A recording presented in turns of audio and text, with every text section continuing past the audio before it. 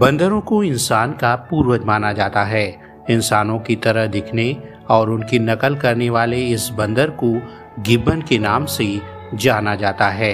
Gibbon यूँ तो सर्वाहारी होते हैं, लेकिन इन्हें फल खाना बेहद पसंद है। घने जंगलों और उष्ण कटिबंधीय क्षेत्रों वाले वनों में पाए जाने वाले गिब्बन भूरे, सलेटी, पीले, कई रंगों में पाए जाते हैं। 35 मील प्रति घंटे की रफ्तार से दौड़ने और छलांग लगाने में माहिर गिब्बन 6 से 9 किलो तक वजनी हो सकती हैं। 25 से 40 साल तक का जीवन जीने वाले गिब्बन की 18 अलग अलग प्रजातियाँ पाई जाती हैं। प्रजाति के आधार पर गिब्बन 15 से 36 इंच तक के होते हैं।